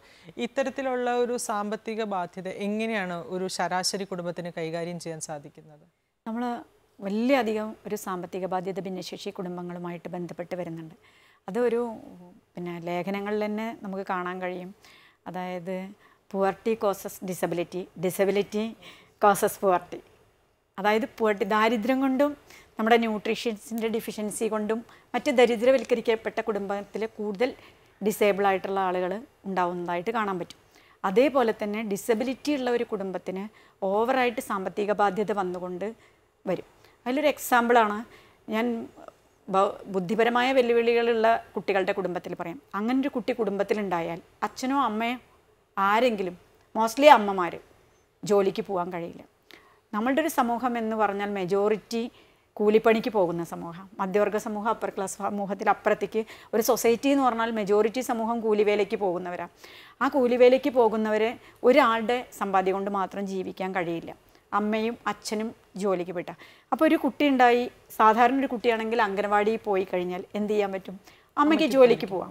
പക്ഷേ ഒരു ഭിന്നശേഷി കുട്ടീനെ ഒരു പത്ത് വയസ്സ് വരെയെങ്കിലും ഇനി അതിലും കൂടുതൽ കാലഘട്ടങ്ങളിൽ നോക്കണം. അമ്മയുടെ മാത്രം തണലിൽ ആ ഒരു ചുറ്റുപാടിൽ ഓരോ കാര്യത്തിനും അവരുടെ പിന്തുണ സംവിധാനം വേണ്ടതാണ് നമുക്ക്. അങ്ങനെ അമ്മയ്ക്ക് എത്ര വിദ്യാഭ്യാസമുള്ള ആളാണെങ്കിലും എനിക്ക് അറിയാം എം എഡും ബി എഡും ഒക്കെ കഴിഞ്ഞ ആളുകളെ ജോലിക്ക് പോവാതിരിക്കുന്നത്. ബാങ്കിൽ ജോലിയുള്ളവരെ ഇങ്ങനത്തെ ഒരു കുട്ടി ഉണ്ടായിട്ട് റിസൈൻ ചെയ്തിട്ടിരിക്കുന്നവരെ സാമ്പത്തികം ഉള്ളതുകൊണ്ട് റിസൈൻ ചെയ്തു.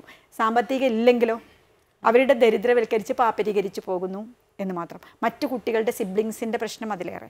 അവരുടെ പഠനാവശ്യങ്ങൾക്ക് വേണ്ടി സാമ്പത്തികമായിട്ട് ഉപയോഗിക്കാൻ ഇവരുടെ ദാരിദ്ര്യം മൂലം കഴിയുന്നില്ല. ഈ കുഞ്ഞിനെ സാധാരണ ഒരു പി എച്ച് എസ് സിയിലെ എല്ലാവർക്കുമുള്ള ട്രീറ്റ്മെന്റ് ഉണ്ട്. സാധാരണ ഒരു ഹെൽത്ത് സെന്ററിൽ പക്ഷേ ഈ കുട്ടിക്ക് വേണ്ട സ്പെഷ്യലൈസ് ചെയ്ത ട്രീറ്റ്മെന്റ് പി എച്ച് എസ് സിയിലില്ല അപ്പോൾ ഈ കുഞ്ഞിനെയും കൊണ്ട് പോകുന്നത് അടുത്തത് എന്താണ്? ജനറൽ ആശുപത്രിയിലോ ജില്ലാ ആശുപത്രിയിലോ മെഡിക്കൽ കോളേജിലോ നമ്മൾ ഈ സിസ്റ്റം എടുത്ത് നോക്കിയാൽ അറിയാം നമ്മുടെ ഒരു കാലഘട്ടം വരെ ഇപ്പോൾ കുറേ മാറിയിട്ടുണ്ട്. ഒരു കാലഘട്ടം വരെ ജനറൽ ആശുപത്രിയിലോ ജില്ലാ ആശുപത്രിയിലോ പോലും ഒരു സൈക്കോളജിസ്റ്റ് പോലും ഇല്ല. ഒരു കുടുംബത്തിന്റെ ഈ ഒരു പ്രശ്നങ്ങളെ ഒരു സൈക്കോളജിസ്റ്റിനെ കണ്ട് എന്ത് ഈ പ്രശ്നങ്ങൾ ലഘൂകരിക്കുന്നതിന് വേണ്ടി നമുക്ക് കൺസൾട്ടേഷന് പോകാൻ പറഞ്ഞാൽ ജില്ലാ ആശുപത്രി ഞാൻ പാലക്കാടായിരുന്നു ആ സമയത്ത്. പാലക്കാട് ജില്ലാ ആശുപത്രിയിൽ ഒരു സൈക്കോളജിസ്റ്റ് ഉണ്ടായിരുന്നില്ല കാണാൻ. പിന്നെ തെറാപ്പി സംവിധാനങ്ങൾ ഇപ്പോഴാണ് കുറേയും കൂടെ ഡെവലപ്പ് ചെയ്ത് വന്നത്. അന്ന് തെറാപ്പി സംവിധാനങ്ങൾ നമ്മുടെ ലോക്കൽ ഏരിയയിലില്ല അപ്പോൾ പത്തും ഇരുപതും കിലോമീറ്ററിൽ യാത്ര ചെയ്തിട്ട് വേണം ഈ കുട്ടിക്കൊരു ഇന്റർവെൻഷനിൽ നമ്മൾ സൗകര്യം ചെയ്തു കൊടുക്കാൻ. എനിക്ക് താല്പര്യമുണ്ട് പോക പോകാമെന്ന് വിചാരിക്കുക തെറാപ്പിക്ക് കൊടുക്കുന്ന ഫീസിനേക്കാൾ കൂടുതലാണ് യാത്രാ സൗകര്യം. നമ്മുടെ ഒരു കോമൺ ഗതാഗത സൗകര്യങ്ങൾ പൊതുഗതാഗത സൗകര്യങ്ങളൊന്നും ഒരു ഭിന്നശേഷി കുട്ടിയെ കൊണ്ടുപോകാൻ പര്യാപ്തമല്ല. ഒരു വീൽ ചെയർ ഫ്രണ്ട്ലി അല്ല. പിന്നെ സി പി ബാധിച്ച കുട്ടികളാണെങ്കിൽ അവരൊക്കെ സ്റ്റിഫായിട്ടുള്ള ബോഡി ആയിരിക്കും. അവരെ എടുത്തുകൊണ്ട് എത്രയോ ഞാൻ കണ്ടിട്ടുണ്ട് പത്തും പതിനഞ്ചും വയസ്സുള്ള കുഞ്ഞിനെ എടുത്ത് അമ്മമാർക്ക് അസുഖം വന്ന് കിടപ്പിലായത്. അമ്മമാർക്ക്. ഇതൊക്കെ പറയുമ്പോൾ ഒരു സോഷ്യൽ ഇഷ്യൂ അത് നമ്മൾ അടുത്ത ഇതിലേക്ക് പോകുമെന്ന് വിചാരിക്കാം.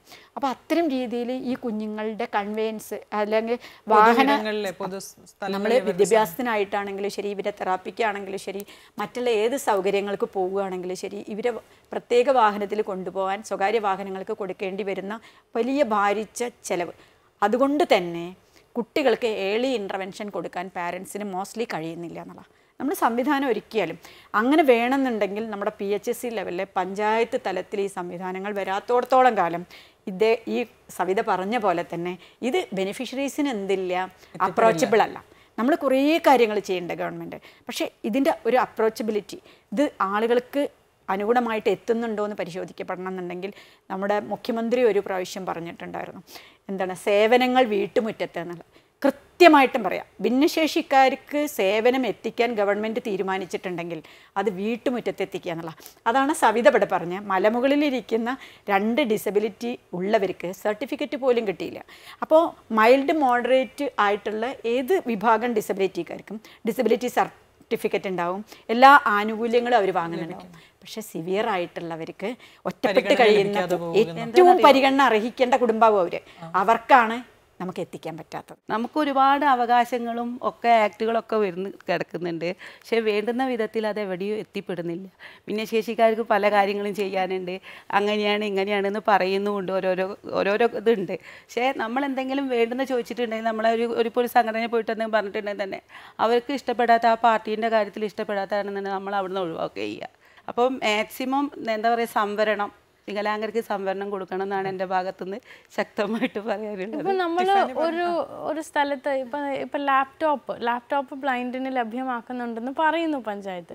പക്ഷെ നമ്മൾ അവിടെ പോയി കഴിഞ്ഞാൽ അവർ ഈ ഫയൽ എടുത്ത് അവിടെ പോകാൻ പറയും ആ ഫയൽ എടുത്ത് അവിടെ പോകാൻ പറയും. അപ്പോൾ ഡിസബിലിറ്റി ഉള്ള ഒരു വ്യക്തിക്ക് വി കനോട്ട് ഡു ദാറ്റ് കാരണം നമ്മളെ ഹെൽപ്പ് ചെയ്യാൻ ഒന്നെങ്കിൽ നമ്മുടെ ഗാർഡിയൻസ് ഒരു ദിവസം ലീവ് എടുക്കും. ഇപ്പൊ നമ്മൾ ബ്ലൈൻഡ് ആയിട്ടുള്ളവർക്ക് ഒക്കെ ഒറ്റയ്ക്ക് പോവാം. ഒരു പരിധി വരെ നമുക്ക് ഒറ്റയ്ക്ക് പോകാൻ പറ്റും. വീൽ ചെയർ ആയാലും ഞാൻ റീസെന്റ്ലി ഒരു cross disability women empowerment workshop ഞാൻ നടത്തിയിട്ടുണ്ടായിരുന്നു. ആൻഡ് അതിൽ ഷെയർ ഹോമിൽ നിന്ന് ആൾക്കാരുണ്ടായിരുന്നു. ശ്രീകാര്യത്തു നിന്നും പോത്തങ്കോട് നിന്ന് ആൾക്കാർ വന്നിട്ടുണ്ടായിരുന്നു. പക്ഷെ അവർക്ക് വരാനും പോകാനും എന്റെ വണ്ടിക്കൂലിക്ക് മാത്രം അവർക്ക് ആയിരത്തി അഞ്ഞൂറ് രൂപ വീതം ആയിട്ടുണ്ട്. സോ അങ്ങനെ നിൽക്കുന്ന അവരെങ്ങനെ സിറ്റിയിൽ എത്തിപ്പെടും? അവർ ഈവൻ ലോ ഫ്ലോർ ബസ്സുകളും പോലും അക്സസിബിൾ അല്ല. അവരുടെ വീടിന്റെ മുറ്റത്താണെങ്കിൽ ഏതെങ്കിലും ഒരു വണ്ടിയോ ഏതെങ്കിലും അവരുടെ പഞ്ചായത്ത് മൂലം ബസ് സ്റ്റോപ്പ് വരെ എത്തിക്കാൻ എന്തെങ്കിലും വണ്ടി ഉണ്ടെങ്കിൽ പിന്നെ എന്തെങ്കിലും ഇപ്പം ഈ ലോ ഫ്ലോർ ബസ്സുകളുടെ ഫ്രീക്വൻസി കൂടി അവർക്ക് വേണ്ടി മാത്രമുള്ള കുറച്ച് സ്പെഷ്യൽ ബസ്സുകൾ ഉണ്ടെങ്കിൽ വൈ നോട്ട് ലോ ഫ്ലോർ ബസ്സിൽ വീൽ ചെയർ യൂസേഴ്സിന് കയറാൻ പറ്റും. ഒരുപാട് സംവിധാനങ്ങൾ നമുക്ക് ഉണ്ടാക്കി കൊടുക്കാൻ പറ്റും. പക്ഷേ ഇതൊന്നും ഇല്ലാത്തത്തോളം കാലം വീൽ ചെയർ യൂസേഴ്സ് ആയാലും തീരെ ഡിസേബിൾഡ് ആയിട്ടുള്ളവർക്ക് പറ്റത്തില്ല. അവർക്ക് actually they need laptops panchayat അവർക്കും കൂടെ ലാപ്ടോപ്സും ഇത്തരത്തിലുള്ള സൗകര്യങ്ങൾ കൊടുക്കേണ്ടതാണ്. കാരണം അവർക്ക് വീട്ടിലിരുന്നെങ്കിലും എന്തെങ്കിലും കമ്പ്യൂട്ടറായിട്ടോ എന്തെങ്കിലും ചെയ്യാൻ പറ്റും. കൺ ഓൺലൈൻ വർക്കൊക്കെ ചെയ്യാൻ പറ്റും. പുതിയ കുറിച്ച് കൂടുതൽ പഠിക്കാൻ പറ്റും. അവർക്ക് തന്നെ ഒരു വരുമാന മാർഗം സ്വയം ഏഹ് ടിഫാനി പറഞ്ഞതുപോലെ ഇപ്പം ഇതിപ്പോൾ എന്താ വെച്ചാൽ നല്ല സാധാരണ ഒരു കൂലിപ്പണി എടുത്ത് ജീവിക്കുന്ന ഒരു മാതാപിതാക്കളാണെങ്കിൽ അവിടെ ഒരു ചെറിയൊരു കുട്ടിക്കോ അല്ലെങ്കിൽ ഒരാൾക്ക് അസുഖം ഉണ്ടെങ്കിൽ ഈ പറഞ്ഞോണം ഒരു വീൽ ചെയറോ അല്ലെങ്കിൽ ഒരു സ്കൂട്ടറോ അല്ലെങ്കിൽ എന്തെങ്കിലും കിട്ടണം mobility കൂട്ട് ആ ഫിറ്റ്നസ് സർട്ടിഫിക്കറ്റ് ഹാജരാക്കണം. ഇതിനൊക്കെ എത്തോരം കഷ്ടപ്പെടുന്നെന്നറിയോ? ഹോസ്പിറ്റലിൽ പോയിട്ട് ലീവ് ആക്കിയിട്ട് പോയിട്ടും കിട്ടാതെ മടങ്ങി വരുന്നത് അങ്ങനെ ഒരുപാട് കഷ്ടപ്പെടുന്നവരുണ്ട്. അപ്പം നമ്മൾ പറഞ്ഞ മാക്സിമം ഒരു ഭിന്നശേഷി വീട്ടിലുണ്ടെന്നുണ്ടെങ്കിൽ ഒരു കാര്യം വീട്ടിലുണ്ടെന്നുണ്ടെങ്കിൽ ഗവൺമെന്റ് അവരെ അടുത്ത് നേരിട്ട് വന്ന് ഇറങ്ങി ചെന്നിട്ട് കാരണം എന്താ വെച്ചാൽ കണ്ടില്ല. അവർ നമ്മളെ അടുത്തേക്ക് വരട്ടെ. അല്ലെങ്കിൽ റീഹാബിലിറ്റേഷൻ വർക്കേഴ്സ് അറ്റ്ലീസ്റ്റ് ആഴ്ചയിൽ ഒരിക്കൽ എല്ലാ പഞ്ച എല്ലാ പഞ്ചായത്തിൽ they should be one rehabilitation worker who visit such people people ഈ തരത്തിലുള്ള ആൾക്കാരെ വിസിറ്റ് ചെയ്യുക അവരുടെ വീടുകളിൽ പോകുക അവരുടെ പ്രശ്നങ്ങൾ എന്തെല്ലാമാണ് and they can go with them അവർ അവരെ അസിസ്റ്റ് ചെയ്ത് ഈ ഓഫീസുകളിൽ പോകേണ്ടതാണ്. ഫോറിൻ കൺട്രീസിലൊക്കെ ഇത് നടക്കുന്നുണ്ട്. വീടുകളിൽ പോയി ഹെൽപ്പ് ചെയ്യുന്നവരുണ്ട്.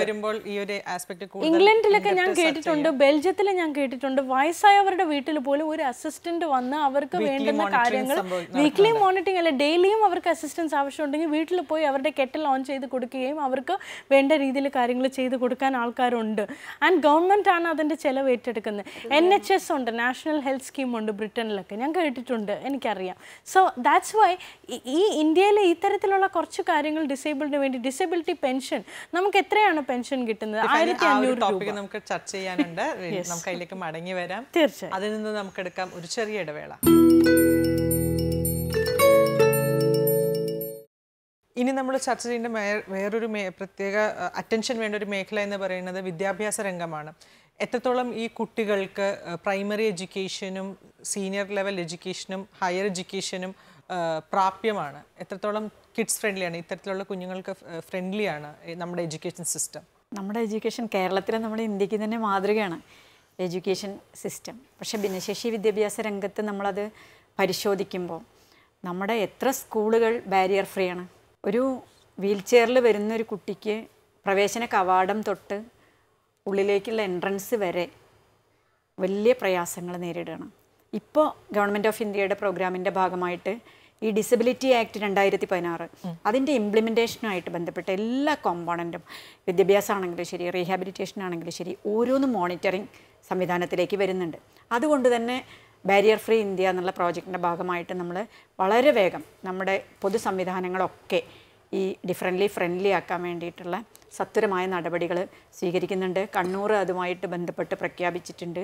മലപ്പുറം വയനാടൊക്കെ അതുമായിട്ട് ബന്ധപ്പെട്ട് വളരെ സ്പീഡിൽ ഓരോ കാര്യങ്ങൾ ചെയ്യുന്നുണ്ട്. നമ്മൾ പൊതുവായിട്ടുള്ള പ്രത്യേകിച്ച് വലിയ വിദ്യാഭ്യാസ സ്ഥാപനങ്ങൾ പൊതുവായിട്ടുള്ള ഷോപ്പിംഗ് മാളുകൾ ആ ഒരു കാലഘട്ടത്തിൽ നമ്മുടെ വിദ്യാഭ്യാസ മേഖല അതിനനുസരിച്ച് മാറണമെന്നുണ്ടെങ്കിൽ ഇനിയും ഒരുപാട് മുന്നോട്ട് പോകണം അതിനുള്ള നടപടികൾ ആവിഷ്കരിച്ച് വരുന്നുണ്ട് എന്നുള്ളതൊരു സ്വാഗതാർഹമായ കാര്യമാണ് രണ്ടാമത് ഭിന്നശേഷി ഇപ്പോൾ ലോക്കോമോട്ടീവ് ഡിസബിലിറ്റി ഉള്ളവരാണെങ്കിൽ പിന്നെ എന്താണ് മറ്റ് ഭിന്നശേഷി ലോക്കോമോട്ടീവ് ഡിസബിലിറ്റി ഉള്ളവർക്ക് വലിയ വിദ്യാഭ്യാസ മേഖല വലിയ പ്രയാസം നേരിടുന്നില്ല എന്ന് വേണമെങ്കിൽ പറയാം.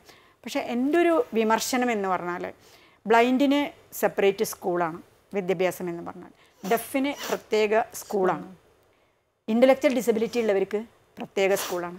നമ്മൾ കാണേണ്ടത് ഇവരും മനുഷ്യരുടെ വൈവിധ്യങ്ങളാണ്. അവരും ജനിച്ച് അവർക്ക് ഭിന്നശേഷി ഉള്ളതുകൊണ്ട് മാത്രം അവരെ വിദ്യാഭ്യാസത്തിന് വേണ്ടി സെഗ്രിഗേറ്റ് ചെയ്യുന്നു സെപ്പറേറ്റ് ചെയ്യുന്നു എന്നുള്ള സമൂഹത്തിൽ നിന്നും അവരെ മാറ്റി നിർത്തി ഡിസ്ക്രിമിനേറ്റ് ചെയ്യുക നമ്മളിവിടെ കുടുംബത്തിന്റെ പ്രശ്നം പറഞ്ഞു. കുടുംബത്തിൽ ഈ കുഞ്ഞുങ്ങളെ അംഗീകരിക്കുകയും എല്ലാ ഇടങ്ങളിലേക്കും കൊണ്ടുപോവുകയും ഇൻട്രാക്ഷൻ നടക്കുകയും ചെയ്യുമ്പോഴാണ് ഒരു കുഞ്ഞ് സാധാരണ ഒരു കുഞ്ഞ് സോഷ്യലൈസിങ് ചെയ്യണം. അപ്പോൾ ഒരു കുഞ്ഞ് എവിടെയും വിടാതെ വീട്ടിലിടുകയാണെങ്കിൽ ഏത് ബുദ്ധിയുള്ള കുട്ടിയാണെങ്കിലും ഏത് ഡിസബിലിറ്റി ഇല്ലാത്ത കുട്ടിയാണെങ്കിലും എംപയർമെന്റ്സ് വന്നുകൊണ്ടേയിരിക്കും. ആ കുട്ടിയുടെ ഇൻട്രാ ഓരോ സമൂഹത്തിലുള്ള ഇൻട്രാക്ഷനാണ് ഒരാളുടെ പടിപടിയായിട്ടുള്ള മുന്നോട്ട് പോക്കുണ്ടാവണം പക്ഷേ ഇങ്ങനത്തെ ഒരു കുട്ടിക്ക് എന്താണ്? കുടുംബത്തിൽ നിന്ന് വിട്ടാൽ കുടുംബത്തിൽ നിന്ന് പടി ഇറങ്ങിക്കഴിഞ്ഞാൽ അവിടെ ഡിസ്ക്രിമിനേഷൻ വരികയാണ് വിവേചനം വരികയാണ്. നമ്മൾ മൂന്ന് വയസ്സ് മുതൽ ആറ് വയസ്സ് വരെയുള്ള പൊതു സംവിധാനമാണ് വിദ്യാഭ്യാസത്തിന്റെ പ്രീ എഡ്യൂക്കേഷൻ സ്റ്റേജ് അംഗനവാടി. എത്ര അംഗനവാടികളിൽ തൊട്ടടുത്തുള്ള പരിസരത്തു നിന്നുള്ള കുഞ്ഞുങ്ങൾ വരുന്നുണ്ടാവും രോഗമാട്ടി ഡിസബിലിറ്റി ഉള്ളവരാണെങ്കിൽ കുറച്ച് ദൂരത്തുനിന്ന് അവരെ കൊണ്ടുവരാൻ അമ്മയ്ക്ക് രാവിലെ കൊണ്ടേക്കണം വൈകിട്ട് എടുത്തുകൊണ്ട് പോകണം അതിന് സാധ്യമല്ലെങ്കിൽ ആ കുഞ്ഞ് അവിടെ വരില്ല. പാവപ്പെട്ട വീട്ടിലുള്ളവർക്ക് രാവിലെ ഈ വീട്ടുപണി കഴിഞ്ഞ് മറ്റു കുട്ടികളെയൊക്കെ സ്കൂളിൽ അയച്ച് ജോലിക്ക് പോകണോ അതോ ഈ കുഞ്ഞിനെ എടുത്തുകൊണ്ട് അംഗനവാടിയിൽ എത്തിക്കണോ? അപ്പോൾ ഈ കുട്ടി എന്ത് ചെയ്യും ഈ നാല് ചുവരുകൾക്കുള്ളിൽ രാവിലെ മുതൽ വൈകുന്നേരം വരെ സിബ്ലിങ്സിനോടൊപ്പം അടുത്ത വീട്ടിൽ പോയി കളിക്കാൻ അങ്ങോട്ട് പോകാൻ പറ്റില്ല. വികലാംഗ ഇങ്ങനത്തെ ഒരു പ്രശ്നം. ഭിന്നശേഷി കുട്ടിയാവുകൊണ്ട് കുട്ടികളാരും ഇങ്ങോട്ട് വരില്ല.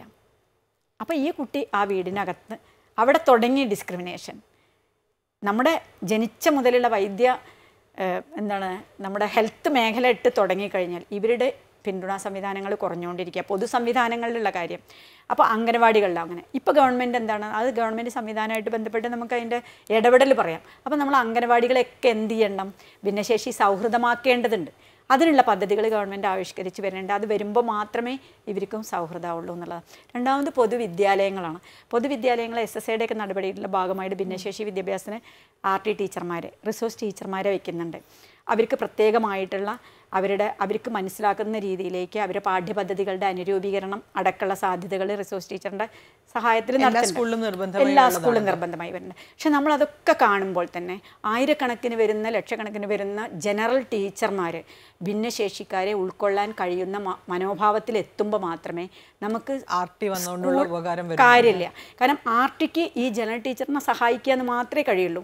പക്ഷേ തന്റെ ക്ലാസ്സിലിരിക്കുന്ന ഒരു ഭിന്നശേഷി കുഞ്ഞിനെ ഉൾക്കൊള്ളാനും പാഠഭാഗങ്ങൾ അവർക്ക് മനസ്സിലാക്കുന്ന രീതിയിലേക്ക് കൊടുക്കാനും എന്ത് വേണം? ഒരു ടീച്ചറുടെ മനോഭാവം എന്ന് പറയുന്നത് വലിയൊരു സന്നദ്ധത വളരെ സന്നദ്ധത വളരെ. അതൊരു ബാരിയർ ഫ്രീ തന്നെ ആവണം. ബാരിയർ ഫ്രീ പറഞ്ഞ സ്റ്റെപ്പുകളും നമ്മുടെ കോൺക്രീറ്റ് ബിൽഡിങ്ങുകളും ഭൗതിക സൗകര്യങ്ങളുടെ ബാരിയർ ഫ്രീ അല്ല. മനോഭാവം എന്നുള്ളത് വലിയൊരു അതാണ് ഇപ്പം സമൂഹത്തിൽ വലിയൊരു ബാരിയറായിട്ട് നിൽക്കുന്നത് അപ്പോൾ ഈ സ്കൂൾ അന്തരീക്ഷം ബാരിയർ ഫ്രീ ആവണമെന്നുണ്ടെങ്കിൽ പലപ്പോഴും നമ്മൾ കേട്ടിട്ടുണ്ട് പലതുമായിട്ടും ഇടപെടുമ്പോൾ ജനറൽ കുട്ടി സാധാരണ കുട്ടികളുടെ ഒരു ഭിന്നശേഷി പ്രത്യേകിച്ച് സി പി ആയിട്ടുള്ള കുട്ടികളെ ഓട്ടിസം കുട്ടികളെ ഇവരൊക്കെ വീ ക്ലാസ്സിനകത്ത് കുറേ പ്രശ്നങ്ങൾ ഉണ്ടാക്കുന്ന കുട്ടികളാണ്. അപ്പോൾ ഈ കുട്ടികളെ മനുഷ്യനായി കണ്ട് അവരുടെ വൈവിധ്യങ്ങളെ ഉൾക്കൊള്ളാൻ ആ ക്ലാസ് റൂം മൊത്തം പര്യാപ്തമാകുമ്പോൾ മാത്രമേ ഈ കുട്ടിക്ക് അവിടെ പ്രവേശനമുള്ളൂ അല്ലെങ്കിൽ പറയുന്നത് എന്താ നിങ്ങൾ പ്രത്യേക സ്കൂളിൽ പൊയ്ക്കോളൂ. പൊതു എന്താണ് പ്രത്യേക സ്കൂൾ. നമ്മൾ ആർ പി ഡി ആക്ട് പറയുന്നുണ്ട്. ഭിന്നശേഷിയുടെ പേരിൽ ഒരു കുഞ്ഞിനെയും പൊതുസമൂഹത്തിൽ നിന്നും സാമൂഹ്യ സംവിധാനങ്ങളിൽ നിന്നും മാറ്റി നിർത്താൻ പാടില്ല എന്ന് പറയുന്നത്. അതേ സമയം inclusive education inclusive inclusive education നിയമമാണ്. അതിന്റെ ഭാഗം. കമ്പൽസറി ആണ് അത്. ആണ്. അതിന്റെ ഭാഗമായി തന്നെ ഗവൺമെന്റ് എടുക്കുന്ന പ്രോഗ്രാമുകൾ ഓരോന്നും നമുക്ക് പരിശോധിച്ചാൽ നമുക്ക് മനസ്സിലാവും. ഈ ഒരു ആക്റ്റും നമ്മുടെ പദ്ധതികളും തമ്മിൽ വലിയൊരു ഗ്യാപ്പ് നിൽക്കുന്നുണ്ട്. വീണ്ടും വീണ്ടും സ്പെഷ്യൽ എഡ്യൂക്കേഷൻ എന്ന് പറഞ്ഞിട്ട് നമ്മൾ അത്തരം കുട്ടികളാണ് അവിടെ പോണേ. ആ കുട്ടികളോടുള്ള വലിയ നല്ല മനോഭാവം കൊണ്ട് തന്നെ അവരെ ഏതെങ്കിലും രീതിയിൽ സഹായിക്കണം എന്ന് പറഞ്ഞുകൊണ്ട് തന്നെ കൂടുതൽ കൂടുതൽ ഇൻപുട്ട് കൊടുക്കുക. പക്ഷെ നമ്മൾ അതോടൊപ്പം തന്നെ നമ്മൾ കാണേണ്ടത് അത്തരം കുട്ടികളെ സാധാരണ വിദ്യാലയങ്ങളിൽ കൊണ്ടുവന്നുകൊണ്ട് അവർക്ക് പിന്തുണാ സംവിധാനം ഉറപ്പാക്കണം. അപ്പോൾ ഒരു സ്കൂൾ അന്തരീക്ഷത്തിന്റെ മനോഭാവം മാറ്റാൻ ഞാൻ പറയുന്നത് രണ്ട് വ്യത്യസ്ത മനോഭാവങ്ങളാണ്. അപ്പോൾ ഏറ്റവും പ്രധാനം നമ്മളെപ്പോഴും പറയും സാമ്പത്തികം. സാമ്പത്തിക ആ സൗകര്യം ചെയ്യണം ആർ ടി ടീച്ചറെ കൊടുക്കണം മറ്റ് സൗകര്യങ്ങൾ കൊടുക്കണം. എന്നാലേ സ്കൂൾ ഡിഫറെന്റ്ലി ഫ്രണ്ട്ലി ആവുള്ളൂ എന്ന്. അല്ല മനോഭാവമാണ് കാര്യം. ആർ പി ഡി ആക്ട് എന്ന് പറഞ്ഞാൽ ഇത് നിയമം മൂലം നിരോധിച്ചിട്ടുണ്ട്. എന്നിട്ടും ഗൗരവമായ ഒരു ചർച്ച. ബ്ലൈ ഇൻഡു സ്കൂളുകൾ നില നിൽക്കണോ? ഡെഫ് സ്കൂളുകൾ നിലനിൽക്കണം. ഇന്റലക്ച്വൽ ഡിസബിലിറ്റി സ്കൂളുകൾ ഈ രീതിയിൽ നിലനിൽക്കണം. പണ്ട് ക്ഷേമകാര്യത്തിന്റെ ഭാഗമായിട്ടുണ്ടായത് അന്ന് ക്ഷേമല്ല. ഇന്ന് വികസനത്തിന്റെ സാമൂ എല്ലാ സർവസാധാരണ മേഖലകളിലും ഉൾച്ചേർക്കൽ ഉണ്ടാവേണ്ടതാണ്. U N C R P D നമ്മുടെ കൺവെൻഷൻ ഏറ്റവും of R P D act അല്ല നമ്മൾ Disability. മാനദണ്ഡമാക്കേണ്ട U N C R P D കൺവെൻഷന്റെ ഓരോ ആർട്ടിക്കിളാണ്. എങ്ങനെയാണ് മനുഷ്യനായി കണ്ടുകൊണ്ട് ഭിന്നശേഷിക്കാരെ സമൂഹത്തിൽ ഉൾച്ചേർക്കാം? രണ്ടാമത് തിഫാനി ഇവിടെ പറഞ്ഞ പോലെ ഒരു കാര്യമുണ്ട്. ഈ ഒരു സമൂഹത്തിന്റെ മനോഭാവമാണ് ബാരിയർ നമ്മൾ വിശ്വസിക്കുമ്പോൾ ഈ ബാരിയർ ഫ്രീ ആക്കണം എന്നുണ്ടെങ്കിൽ എന്ത് ചെയ്യണം? ഈ കുട്ടികൾ സമൂഹത്തിനകത്ത് വളരണം. അതെ തീർച്ചയായും സമൂഹത്തിനകത്ത് ഞാൻ അതാണ് പറഞ്ഞത് ഇൻക്ലൂസീവ് എഡ്യൂക്കേഷൻ നല്ല രീതിയിൽ നടപ്പാക്കുന്ന സ്കൂളുകളിൽ പോയാൽ മനോഹരമായ കാഴ്ചകൾ കാണാൻ പറ്റും. ഈ കുഞ്ഞുങ്ങളുടെ ഒരു പ്രശ്നം അവരുടെ രക്ഷിതാക്കൾക്ക് പരാതിയല്ല അവരെ കൊണ്ട് നടക്കുക. അപ്പോൾ പൊതുസമൂഹം നാളെ അവർക്ക് ഇങ്ങനത്തെ ഒരു കുട്ടി ഉണ്ടാവുമ്പോൾ ഞങ്ങൾ പകച്ചു നിന്ന്. ഇപ്പം ഞാൻ പറഞ്ഞ ഈ പ്രശ്നങ്ങൾ മുഴുവൻ എന്റെ കുറേ കൊല്ലങ്ങൾക്ക് മുമ്പുള്ളതാണ് സമൂഹം വളർന്നു. ഭിന്നശേഷിക്കാർ ഉൾക്കൊള്ളുന്ന ഒരു സമൂഹമായി. നല്ല രീതിയിൽ സംഘടനകൾ വളർന്നിട്ടുണ്ട്. ഇപ്പോൾ ഇന്റലക്ച്വൽ ഡിസബിലിറ്റി ഉള്ളവരുടെ പി ഇതിൽ വളർന്ന പരിവാർ സംഘടന മലപ്പുറം ജില്ലയിലൊക്കെ വളരെ ശക്തമായിട്ട് പ്രവർത്തിക്കുകയാണ് അവർ. അവരുടെ കൂട്ടായ്മകൾ കുടുംബ സംഗമങ്ങൾ അവയർനെസ് പ്രോഗ്രാമുകൾ അവർ സ്വയം ഏറ്റെടുത്ത് നടത്തുന്ന രീതിയിലേക്ക് അവരുടെ നല്ല റൈറ്റ് ബേസ്ഡ് മൂവ്മെന്റ് സ്വാഭാവികമായിട്ടും വിദ്യാഭ്യാസ കാലഘട്ടം കഴിഞ്ഞാൽ പിന്നെ നമ്മുടെ മനസ്സിലേക്ക് വരുന്ന വലിയൊരു ചോദ്യമാണ് ജോലി സാധ്യതകൾ. എത്രത്തോളമാണ് ജോലി സാധ്യതകൾ തുറന്നു കിടക്കുന്നത്? ജന്മനാ ഉള്ള ഒരു വൈകല്യമുള്ളവർക്കുള്ള ഒരു മുൻഗണന നമ്മളതിലില്ല എന്നാണ് എനിക്ക് അറിയാൻ കഴിഞ്ഞത്. കാരണം എന്താ വെച്ചാൽ പത്ത് മുപ്പത്തെട്ട് വർഷമായിട്ട് ശാരീരിക വൈകല്യം അനുഭവിക്കുന്ന ഒരു വ്യക്തിയാണ് എന്ന നിലയിൽ ഞാൻ പറയണേ. എന്റെ അനുഭവം ഷെയർ ചെയ്യണേ. കാരണം എന്താ വെച്ചാൽ ഒരു നാൽപ്പത് വയസ്സുള്ള ഒരു വ്യക്തി നല്ല ചിലപ്പോൾ ഒരു അശ്രദ്ധേനെ കൊണ്ടായിരിക്കും ഒരു വാഹനാപകടം പറ്റുന്നത്. അവർ പിന്നീട് ഒരു ആറു മാസത്തിന്റെ ഉള്ളിൽ മെഡിക്കൽ ബോർഡിന്റെ സർട്ടിഫിക്കറ്റ് ശരിയാക്കും. പിന്നീട് അവരെന്ത് ചെയ്യും സാധാരണ എംപ്ലോയ്മെന്റിലായിരിക്കും അവർ രജിസ്റ്റർ ചെയ്തിട്ടുണ്ടാവുക. അത് പിന്നെ നമ്മളെ ഭിന്നശേഷിക്കാരുടെ സ്പെഷ്യൽ എംപ്ലോയ്മെന്റിലേക്ക് മാറ്റും. സ്വാഭാവികമായിട്ട് നമ്മളിവിടെ ഈ മുപ്പത്തെട്ട് വർഷമായിട്ട് ഇവിടെ നിൽക്കുന്നുണ്ടാവും. പക്ഷേ ഏജിന്റെ കാര്യത്തിൽ സീനിയോറിറ്റി അവർക്ക് കിട്ടുമ്പോൾ അവർക്ക് ജോലി കിട്ടാൻ കൂടുതൽ സാധ്യത. നമ്മളെപ്പോലുള്ളവർ ബാക്കോട്ട് ബാക്കോട്ട് പോകും. ഇപ്പം എന്റെ കുടുംബത്തിൽ തന്നെ ഞാൻ കൂടാതെ എന്റെ അനിയത്തി പ്രസ്തകുമാരിയും ഇതേപോലെ ജന്മന വൈകല്യം. ഞങ്ങൾക്ക് ഇതാ ഇത്ര വർഷത്തിന്റെ ഇടയിൽ ഒരു താൽക്കാലിക ജോലി പോലും മുപ്പത്തെട്ട് കൊല്ലമായി ശാരീരിക വൈകല്യങ്ങളെ അതിജീവിച്ചിട്ട് ജീവിക്കുന്ന ഒരു വ്യക്തി നിലയിൽ പറയുക മനസ്സ് തട്ടി പറയുക ഒരു സർക്കാർ തലത്തിൽ ഒരു ചെറിയൊരു താൽക്കാലിക ജോലി പോലും ഞങ്ങൾക്ക് കിട്ടിയിട്ടില്ല.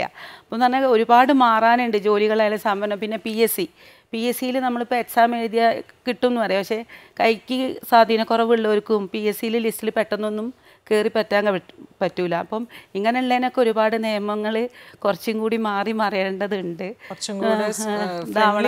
ഫ്രീ വരണം. കാരണം എന്താ വെച്ചാൽ ഈ വൈകല്യങ്ങളെ അതിജീവിക്കുന്നതൊക്കെ അവർക്കാണ്. സാധാരണ നമ്മൾ ആരോഗ്യമുള്ളവർക്ക് ജീവിക്കാൻ ഒരുപാട് കഷ്ടപ്പെടുന്ന കാലഘട്ടമാണിത്. നമ്മളിത് മനസ്സിന്റെ ഒരു ധൈര്യം കൊണ്ടാണ് ജീവിതം മുന്നോട്ട് പോകുന്നത്. അപ്പോൾ ഇങ്ങനെയുള്ളവരെ ഒരുപാട് അനുഭവിക്കുന്നവരെ തിരഞ്ഞ് അതായത് ഈ ആക്റ്റും കാര്യങ്ങളൊന്നും ഉണ്ടായിട്ട് കാര്യമില്ല. അർഹതപ്പെട്ടവർക്ക് കിട്ടണം എന്നുണ്ടെങ്കിൽ ഒരുപാട് മാറാനുണ്ട് നമ്മൾ ഇനിയും ഒരുപാട് മാറാനുണ്ട് എന്നാണ് എനിക്ക് പറയാനുള്ളത്. തോന്നിയിട്ടില്ല. ഭിന്നശേഷിക്കാരായ വ്യക്തികൾ കേരള സമൂഹത്തിൽ നേരിടുന്ന വെല്ലുവിളികളെക്കുറിച്ചാണ് നമ്മൾ ചർച്ച ചെയ്തുകൊണ്ടിരിക്കുന്നത്. ചർച്ച തുടരും നാളെ ഇതേ സമയം. നന്ദി.